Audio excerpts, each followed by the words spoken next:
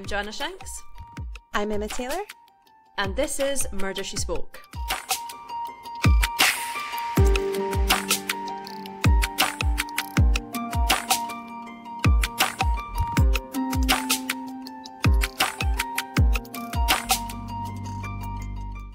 Hi, Emma. How are you this week? I'm very, very well. How are you? I'm good. Yeah. So, for our listeners, uh, you might have remembered recently, I think we had a promo on almost every episode, that we were at CrimeCon Glasgow on Saturday, 16th of September, and we had a lovely time. It was a great day. We met loads of people, we spoke to loads of people, we did a panel at the end, which was mildly terrifying, but it was really enjoyable and a really good day. Um, so, we had some entries. You might have seen on our socials that we did a competition for a Murder She Spoke mug, a one of a kind. Even Emma and I don't have one. Not yet. Um, I want one now. Yeah. we'll see how much demand there is for them. If there's a demand for some merch, we could put some out maybe. A couple of people offered to buy one, genuinely. They're like, really? any more of them? Yeah, yeah. Two people oh, said, wow. if you had more of those, I would have bought it. I was Oh. like, well, Okay. you Maybe need we to need to the get on this- competition, I'm afraid. Yeah. Maybe we need to get on this merch gravy train. Uh, The t-shirts Right, are nice that we had made, so you know, Yeah. But the but they weren't cheap. That's the only thing, you know. Yeah. When I think of merch, I'm not going to spend like even when we bought them for ourselves. I think we paid like thirty quid for a t-shirt. Yeah, we exactly. Went for like really nicely printed, nice ones. quality. Yeah. and I'm not convinced other people would pay that. Maybe they would. I don't know. Maybe they would. Yeah, no, you're right. Let us I think you if have you to want buy in bulk. Think you have to buy in Yeah, bulk to get the discounts. Do we have Maybe. demand for 500 Murder She Spoke t shirts? I'm not so sure that we do. Maybe five, yeah. if that. yeah. Okay, But so the mug was in high demand, so people realised that they had to enter. So, in case you've not seen it on socials, uh, we wanted to come up with something a little bit silly or fun, and Mhm. we asked people if they were a criminal, what would their moniker be? So, a few people didn't know what that was, which was fun. And we're like, you know, in the newspapers or the police or whoever, the nickname that they would give you. And uh, we also stipulated it had to be pretty low stakes crimes. We didn't want any admissions of actual guilt.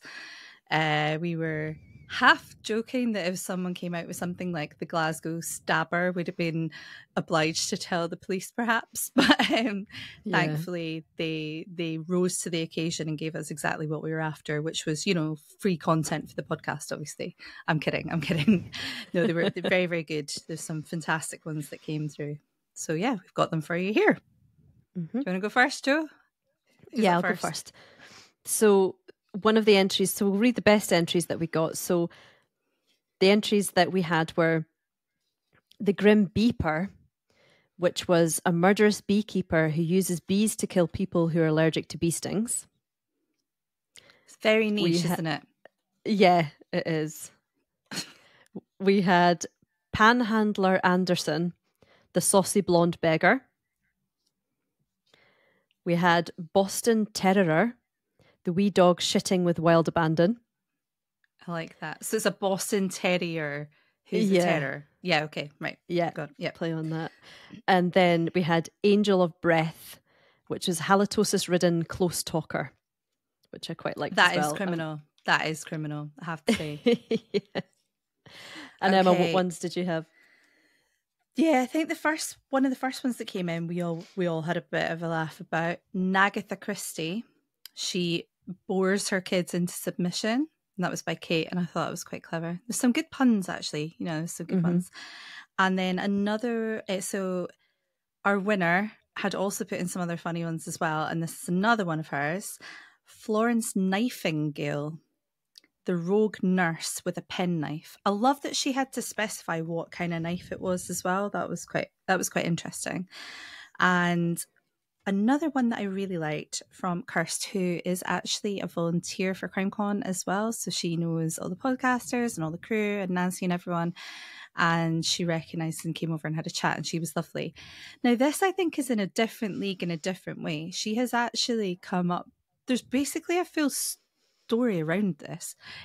So, first of all, she's put Maggie, uh, Magpie Maggie, so that's the nickname. I'm like, all right, cool. But then she's she's told us that that Magpie Maggie is a serial killer. She's attracted to victims with bling on them, and she leaves black feathers behind at the scene. That is good. That is the that is Yeah. the bare bones of a novel. There, like if someone doesn't run with it, I mean, if you do, please give Kirst some money. Um, but she really thought that through and went with it, and I like that a lot. So Yeah, yeah, kudos to Kirst for that one. And then our favourite one, which was a unanimous vote from Bexy Cameron, who was a speaker there. She's an author and a cult survivor, and I'm looking to hopefully get her on the podcast at some point. The angle of death, the killer geometry teacher. so that's just so clever. She's just great. Um, super interesting person, and yeah, hopefully we can we can get her on for a chat at some point. So yeah, CrimeCon is amazing. Thanks to everyone who came and spoke to us and said hi. Uh, we it's our first time properly being on Podcast Row, and then especially being asked to go up and do the panel. That was really interesting. I was quite surprised that our normally confident Joannagh was a bit. You were you felt sick, didn't you? You felt sick with nerves going up there. Yeah, I did. Yeah, I did. Quite nauseous. You did beautifully, so there was no Thank need you. to be worried. I just say yes to these things and I don't think about them. And then when the time comes, I'm like, oh crap. Yeah, that's it though. I mean, what you weren't going to back out at that point, were you? So yeah. Also, I think people say that I'm confident, but I think maybe that's just a, a front. A lot of the time, I'm madly terrified inside. yeah, I think my fear, like fearometer, is broken because I'm scared of things that I shouldn't be scared of, like needles, Mm. and then things like that, or really high heights, or all sorts of stuff. uh, It's like that gauge is broken. I'm just like, oh, a group of friends. Hello, friends. Let's talk. like, I don't know. There's maybe something wrong with me in that sense, but I guess we've all got to have. There have to be people like me that aren't scared of that in order to have any kind of public speaking or announcements being done. I guess. So, Yeah. you know, it is what it is. But yeah, you did amazingly. No one would ever have known that you were remotely anxious. So well done. Thank you. And yeah, thanks That's to everyone to that, that was there. And our winner of the tickets in the evening was there. We didn't get to see her properly, but we'll need to try and catch up there another time. But um, we did have a little message back and forth. So sorry we missed you, Katie. Um, we'd been there since like what were you there half seven in the morning? Yeah, 8 a.m., something like that. Yeah. It was a long day. It was a long day, so we ended up. Um, we were pretty tired and we were going to grab some food, and I was a sado and didn't stay for the quiz, so I went home. I got I got some food delivered, and then I went home, like the older lady I seem to be nowadays. no, it was awesome. So yeah, definitely recommend for next day. year. We're hopefully going to be there again. I would have thought, unless something happens. Um, I don't see that happening. So yeah, hopefully be there, and we should be able to get discount codes and all that kind of stuff. But yeah, everyone that everyone that went seemed to love it to bits. So Yeah. really chuffed. Yeah, good feedback. Definitely. Yeah, definitely. So, um, any recommendations, or do you want to? Have you got what case have you got for us this week? I don't have any recommendations for us this week, but I'm happy just to jump straight into this week's case. It's an interesting one, and I think that you're going to enjoy it, and hopefully our listeners will too. So, this week's case is Marion Ross. Is it familiar to you at all, Emma? No, and you told me I wasn't allowed to Google it, so I don't know anything. yeah, don't like you to have spoilers. okay, so I'll just jump right in. So, 51 year old Marion Ross was a quiet woman who lived alone in a bungalow in Irvine Road in Kilmarnock. Marion previously worked as a bank clerk for the Royal Bank of Scotland, but had since retired. Marion's neighbour described her as a lovely woman who wouldn't hurt a fly. She was a spinster who liked to live a very private life. She never gossiped or hurt anyone.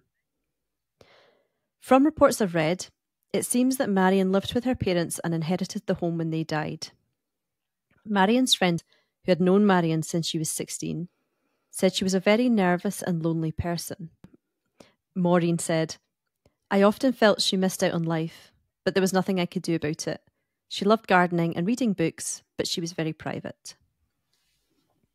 Sadly, I am unable to find much more information about who Marion was as a person. That's always a bit rubbish, isn't it? Yeah. Yeah. it saying that's always a bit rubbish when you can't find anything. It's always a bit disappointing. Yeah. Yeah, definitely. So around 6 p.m. on 8th of January 1997, Marion was found murdered. Her body was discovered in the bathroom of her home.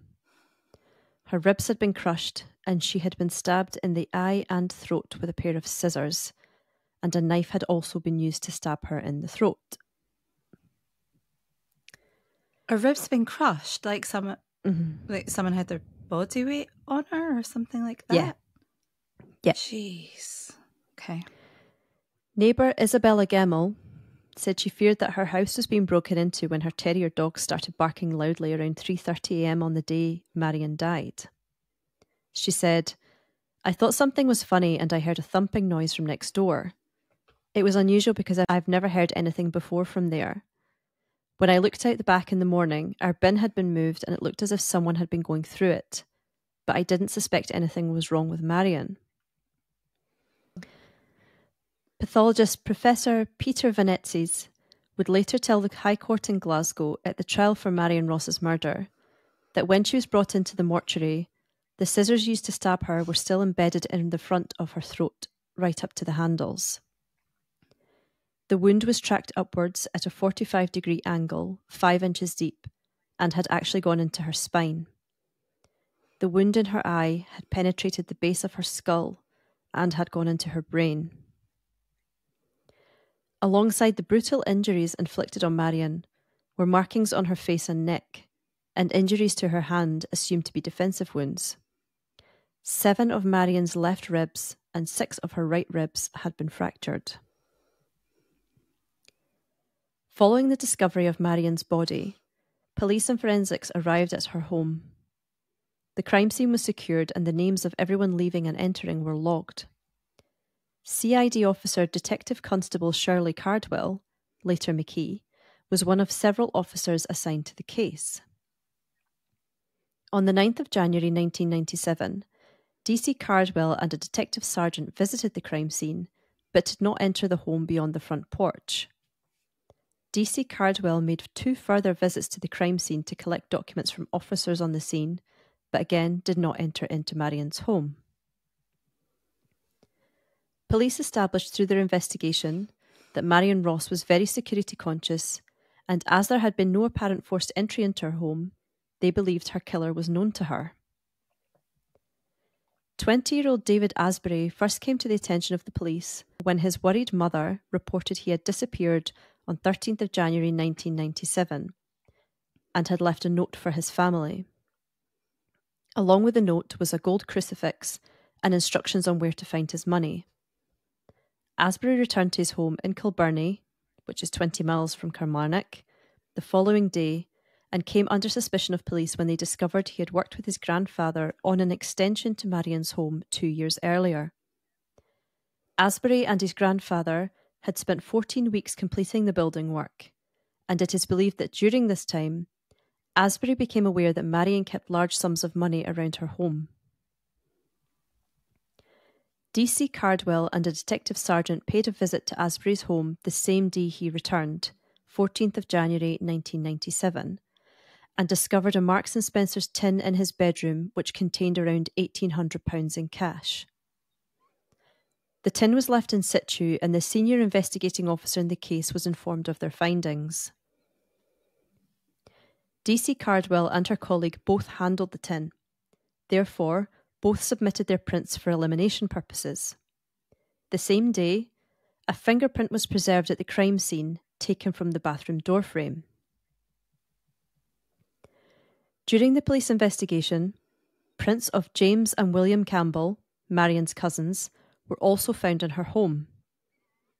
James Campbell's prints were found on the bathroom door, which led to extensive police questioning. James worked as a security guard and provided details of his movements on the day Marion died, which were challenged by police. They subsequently searched his house, dug up his garden, and sent most of his clothing away for forensic testing as part of their investigation. James was found to have had access to Marion's house, and discrepancies in his work logs led police to consider him a prime suspect in the case. William Campbell, who did odd jobs and gardening for Marion, was also questioned about his movements at the time of the murder and why his prints were found on a vacuum cleaner near the body. His explanation to police was that he had repaired the Hoover for his cousin. He also had to explain to police the origin of a tiny blood stain found in his home. Can I just ask a question? Mhm. Not really a question, but unless the unless the Hoover, the vacuum cleaner, was the murder weapon, and they know he does odd jobs, and he's related to her, it doesn't seem that wild that someone's handprints are on the Hoover. Like you're not going to murder someone and then think I'm going to clean up a bit with the Hoover and leave your Yeah. prints on it, and it like it's a really strange Mm-hmm. thing to cause loads of suspicion. Like Yeah. This is really suspicious. A man hoovering is that what they're trying to say? Like where are they going with this? I mean, it could be, to be fair. I mean, yeah. When was this? The nineties. Yeah. So they're like, Yeah. this man could never have been hoovering. He must have had an ulterior motive. it's ridiculous. Yeah.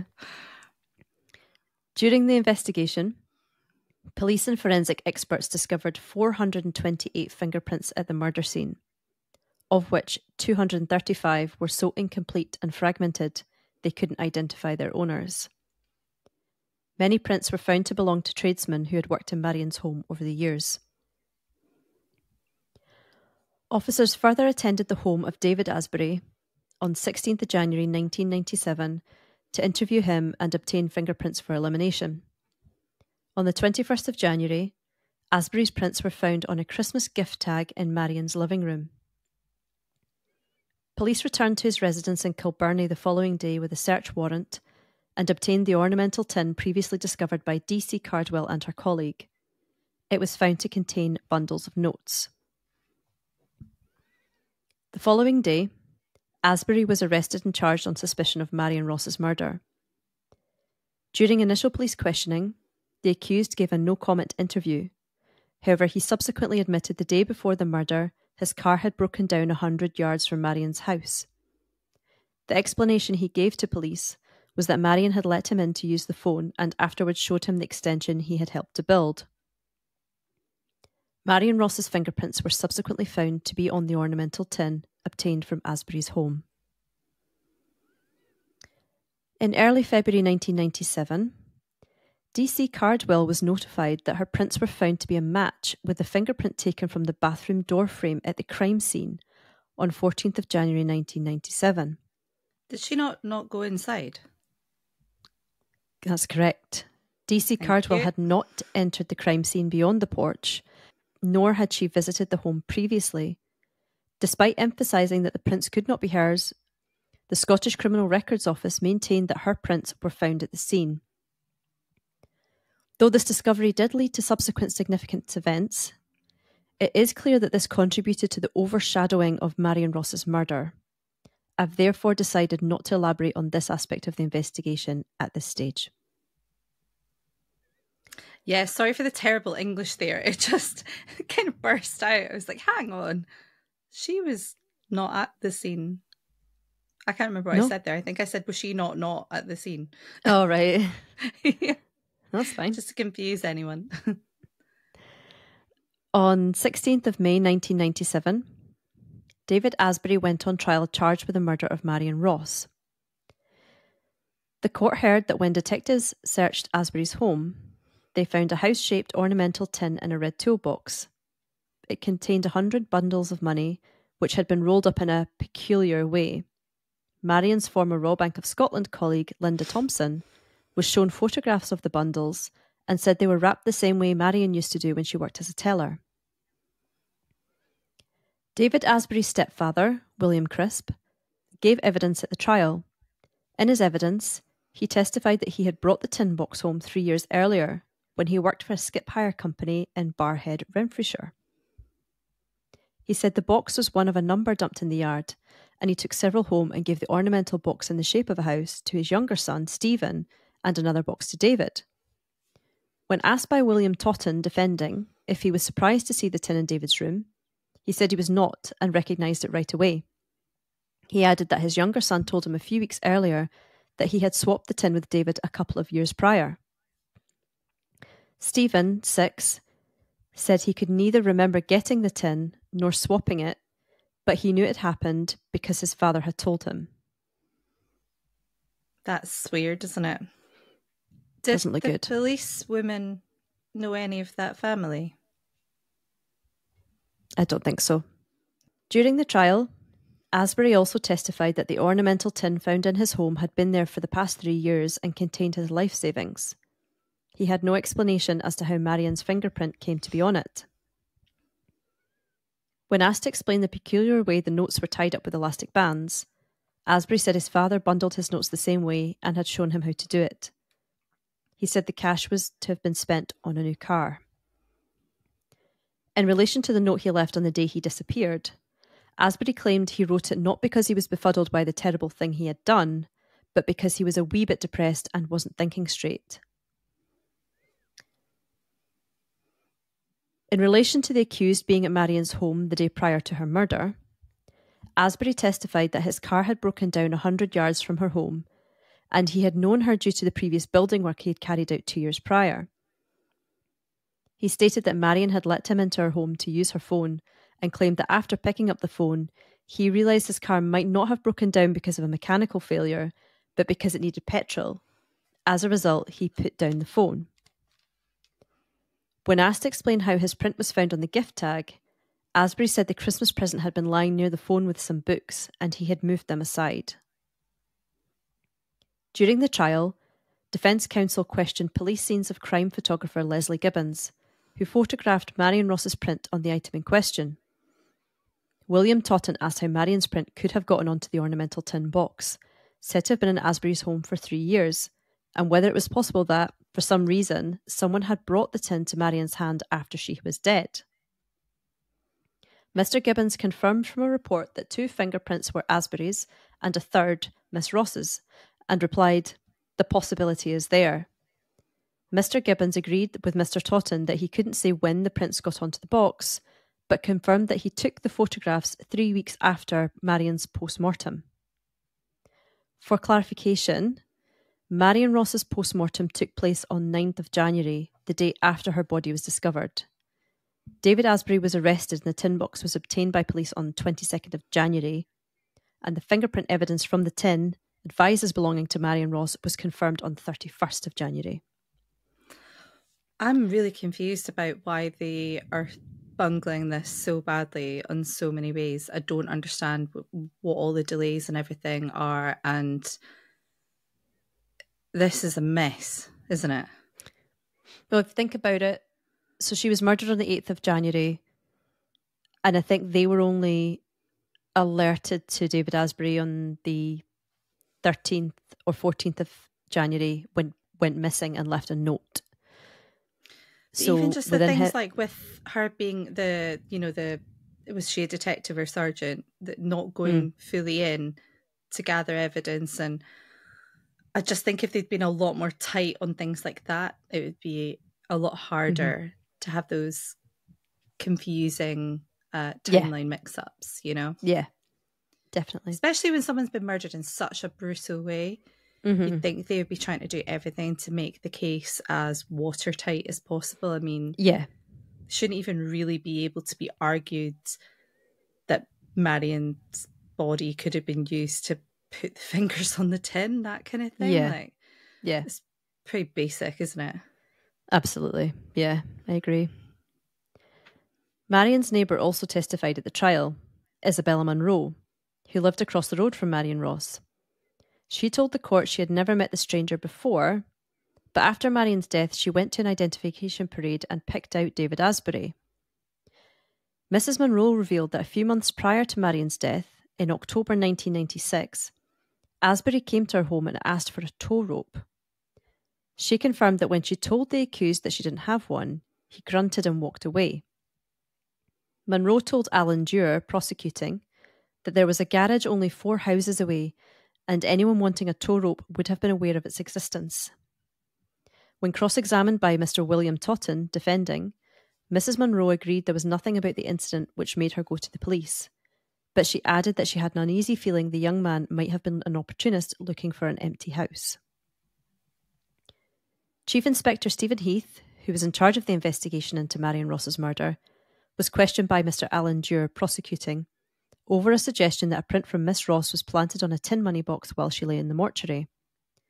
The officer described the allegation made by Asbury's defence counsel, William Totten, several times during the trial as ludicrous and insulting. The trial lasted 13 days, and after a two hour deliberation, the jury found David Asbury guilty of Marion Ross's murder. He was sentenced to life in prison. As previously mentioned, a fingerprint found at the crime scene was confirmed by the Scottish Criminal Records Office as belonging to DC Shirley Cardwell, despite her insistence it couldn't be hers. In 1999, experts outside of the SCRO were consulted and all unanimously agreed the print did not belong to Shirley McKie, formerly Cardwell. This led to the print used to convict David Asbury being called into question and re examined, also by experts outside of the SCRO. Pat Wertheim, a specialist in fingerprint fabrication in the US, who trained FBI personnel and who had examined Shirley McKie's alleged prints, and Allan Bayle, a fingerprint expert formerly of New Scotland Yard, that the print on the tin used to convict David Asbury did not belong to Marion Ross. As such, David Asbury's legal team lodged an appeal against his sentence, and he was released on bail in August 2000 after serving three years for Marion's murder, pending an investigation. In August 2002, appeal judges quashed David Asbury's conviction for Marion Ross's murder. Mr. Asbury's lawyers argued that the evidence of SCRO experts had been substantially discredited they said that Mr. Asbury was the victim of a miscarriage of justice. For the Crown, Advocate Depute Gerry Hanretty, then QC, accepted that there was fresh evidence in the case. He said, It is accepted also that the evidence is significant, and accordingly the conviction does fall to be quashed. The Crown conceded that without the flawed forensic evidence, the case against him could not stand, and Lord Justice Clerk Gill made his unease clear when he said, it is a matter of considerable concern to the court that the administration of justice has got into this position. In 2011, Marion's close friend and neighbour, Maureen Stevenson, then 81, said in an interview that she was saddened and sickened that justice had still not been done for her long term friend almost 15 years on. Maureen said, The whole thing has been an absolute shambles from start to finish, and it all just makes a mockery of Marion's memory. It will be 15 years in January since she was brutally murdered in her own home, and the person who did it is still free to roam the streets. Poor Marion has lost her life, and justice has still not been done, and no one is behind bars.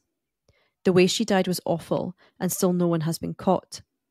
The investigation into her death and all this carry on about fingerprints has been sickening. It makes my stomach turn. It leaves a bad taste in my mouth that money has changed hands because of Marion's death, and that doesn't sit right with me. Justice has not been done for Marion, and we are still no further forward in catching the person who committed this terrible crime. The investigation into Marion's murder is now cold, and following the exoneration of David Asbury, a police spokeswoman from then Strathclyde Police said the case was not likely to be reopened. She added, Strathclyde Police gathered all the evidence available and submitted a report to the Procurator Fiscal. We will be examining the judgment in due course it is not appropriate for the police to comment on the outcome of the judicial process.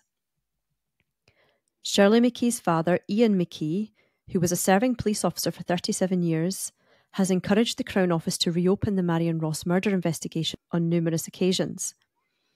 Each time the response received is the murder of Marion Ross remains unsolved and will be subject to regular review by both COPFS and the police. He said, Many questions remain to be answered from the police inquiry, and as an ex police officer, I have many reservations about the investigation.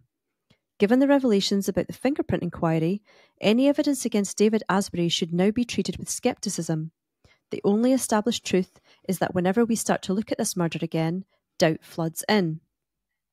Few people realise that there were a number of suspects in this case who were quickly dropped when David Asbury's print was found.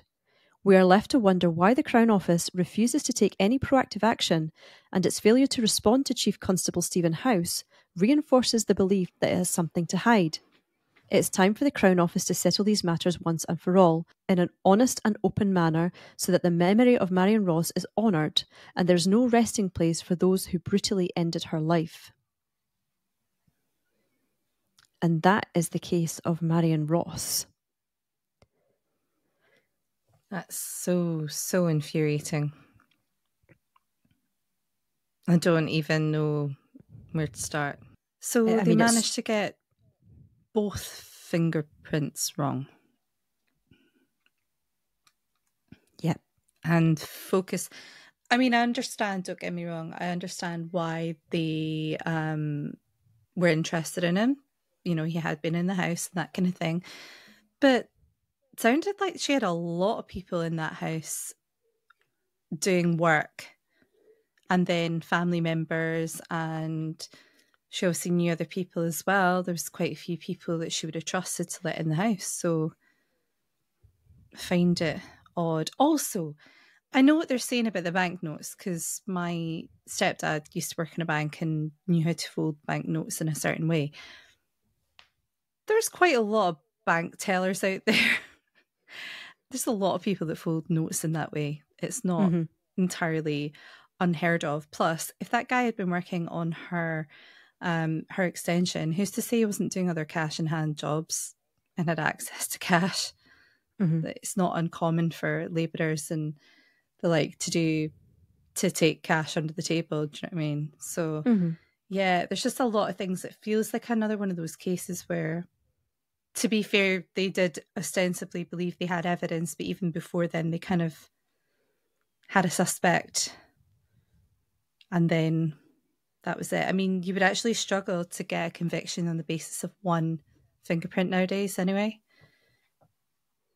And then the thing about that, why didn't they query the fact that the policewoman had not been inside and they knew she hadn't been inside and yet that fingerprint was being matched to her? They did. That went off in a whole other direction. And I deliberately didn't cover that for this case because that debacle has overshadowed the Marion Ross murder case and Marion Ross as a person basically since it mm-hmm. happened. So I decided not to cover that aspect of the case for this episode because there was so much drama and detail and it just went off in twists and turns in different directions that I decided to keep the focus on Marion Ross. Oh for no, this that's totally episode. fair. I mean, it is it is essentially irrelevant to what happened in the end Mhm. if that policewoman had nothing to do with it, which it sounds like she didn't have anything to do with it. Mm-hmm. And I do understand just because it's piqued my curiosity that I'm sure it did um, interest others. But yeah, as you said, it's not really relevant to actually the crime at hand. That's so so sad and disappointing. It is, and And, it's um, it's sad as well yeah. because even researching the case, when I whenever I tried to find information about Marion, everything that came up was about the fingerprint debacle with the police officer. Yeah. I, I do appreciate that the, the murder happened in 1997, so it's not, you know, it's news archives. It's not, you know, as freely available information as it would be if it was a more recent case, but it it does seem to have been overshadowed by this. And the fact she was such a quiet person who kept herself to herself as well means that there wasn't a lot of information available about her. So yeah. that's why I wanted to bring a little bit more focus to this because essentially it is it's an unsolved case. And I'm guessing they do believe that money was the motive, but it's quite a personal killing. And very up brutal. close and personal. Very brutal. So they uh, during the Mm. original trial they deemed that David Asbury had sat on her obviously which should cause her ribs to crush. But yeah, it's an incredibly brutal murder. Um like you say if robbery for a largely small sum of money was the Mm. motive. Something about it doesn't make sense, does it? There's something, there's probably Mhm. more to it that Yeah. if it is solved or looked into, who knows? Feels Mhm. like there's more to it. Definitely, and I think I can't. I couldn't see any updates from Strathclyde Police. Is obviously now part of Police Scotland. I couldn't Mhm. see any updates from Police Scotland to say that they were actively investigating it, or perhaps they would just be waiting on any new information coming in, or if it is. I think essentially what they say in Police Scotland is there's no such thing as cold cases. All cases are subject to regular review. I think I have heard that several times. So maybe to call it a cold case isn't fair, but it sounds like they're not maybe Actively actively, pursuing right any other lines of inquiry, or if they are, they're they're being very very quiet about it and not. They haven't put any, out any press releases to confirm that. I would be very curious as to who benefited from her passing, who was left in the will, who got the house personally. Yeah, I didn't find any of that information out when I was researching the case, but I had I thought the that- same. It crossed my mind. interesting. Because the motive is unclear. hmm Yeah, And unfortunately, humans are often simple creatures hmm and covet what each other have. yeah, Oh, that's so sad. yeah. Thank you for covering it, though. Hopefully, if anyone okay. knows anything, or perhaps in the future, Yeah, so, I mean, obviously they've- that there's an update. they charged someone, we can they were- people. tried and convicted, and then, as I said, the conviction was quashed. So essentially, it is an unsolved case. Um, it is back from 1997, so it was a good while ago now. But somebody knows something, you know. How, how So as she? usual, if anyone has any information, you can contact Police Scotland or Crime Stoppers with any information that you may have, which may contribute to the resolution of this case. So yeah, thank you so much for sharing that. That is really tragic. I just, like I said before, I hope we can get an update for people at some point, but it even feels harder when they've already tried and prosecuted someone and it was wrong. I don't know. Yeah. Anyway, Yeah. thank you again. That was very, very interesting. It is an interesting case, isn't it? Uh, yeah, massively. Um, and I It'd be nice to see a resolution to it. Follow the red herring down the path and just kept to Marion's story for us. So thank you for doing that. Okay. I do have a bit of a silly, fun crime thing for us. Okay. Low stakes again. We're going low stakes. Love it. Well, not really low stakes monetary wise, actually. But uh, in 2012, a man was arrested in Chile for stealing and smuggling about five tons of what? I'll let you guess. Five tons Five tons. arrested in And it's perishable. in Chile. It's perishable. I'll give you that. My first, my first thought was rice, but only because I thought of chili con carne. You're so close. Really, Knock the What R off. Ice. Ice. He stole and smuggled five tons of ice from the Jorge Montt Glacier in the Patagonia region. He smuggled ice. He smuggled part of a glacier, which is wild. He had it in a truck, and the total value of the ice was estimated to be around $6,100. It's believed to have been destined for Santiago, as gourmet polar ice cubes fetch high prices at the upscale bars and restaurants scattered across the capital, and it would appear they don't care how they are obtained. The theft of glacial ice has captured popular attention in Chile in recent years, as it's an increasingly valuable commodity in the regions bordering Patagonia.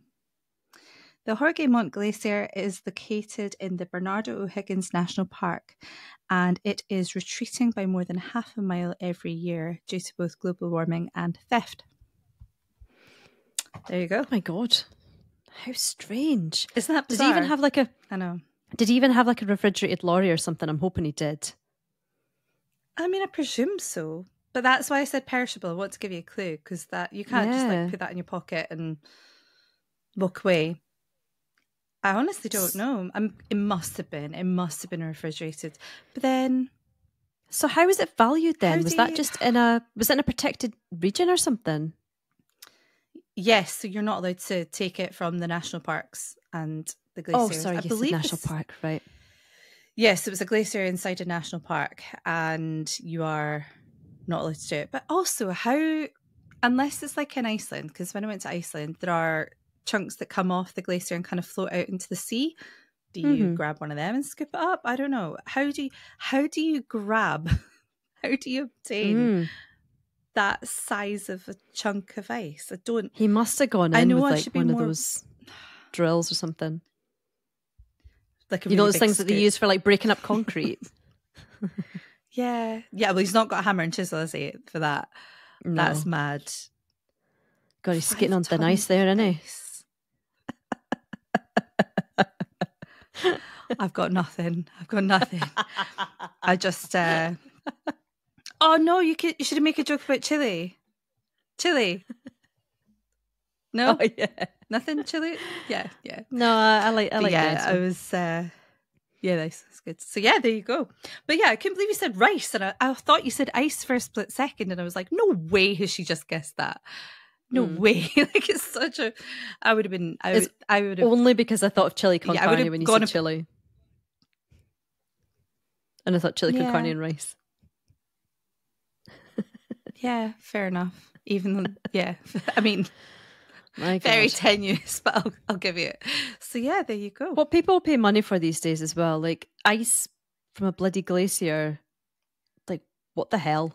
I'm not judging anyone. Last year, when I was pregnant, I bought bags of pre-made ice from the the supermarket when I have perfectly good ice cube making implements in my own home, but I was lazy and unable to. Hmm. I know, do I so, buy ice as well. Hugo crunched through. I mean, we, we I don't know how many bags of ice Hugo and I went through. It was just like one for him and then one for me. So yeah, we we we are we are also funding the demand for ice globally. So maybe we've played into this horrendous crime in some way. Yeah. Got a lot lot to answer to, Emma. It's, uh, it's the kind of crime I would be involved in. Really, it's pretty low stakes. It's a bit weird. It's a bit off the wall. Nobody's really hurt. If you start if you start buying like glacier ice online, we're gonna have to have words. I'm just sitting here recording, just clinking my drink at you menacingly, like with my illegal. It's ice. not just ice. yeah, it's glacier It's ice. not. It's not gonna. Chili and glacier ice. Do you think it tastes better if it's illegal, or do you think it's for? Do you know what it might be for? I'm now realizing it might actually be more for those ice sculptures rather than. Did it not say they were using it to serve in no, it just something about a said bars and restaurant or something, no? restaurants. It said bars and restaurants. It said it for. I just assumed it'd bars mean in drinks.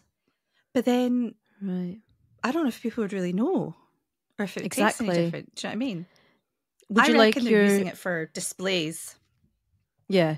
Would you like your vodka and coke with regular ice or glacier ice? One is five dollars, the other one is twenty five dollars. and would it taste any different? Who knows? Exactly. I don't know. It's gonna all it's gonna melt just- and dilute your alcohol anyway. Yeah, I don't know. And I'm just thinking, like today's world, would glacier ice just have like bits of microplastic in it? Probably. Very likely. Yeah. Polar bear shit. Yeah. yeah. No, maybe not in Chile, actually. to the back. Maybe not in Chile. Maybe not. But yeah, very odd. There you go. There's your um fun How strange. crime for the week. Okay. Thank you so much for that. So I think that's us for this week. Thank you so much for listening, and we'll see you next time. Bye. Bye.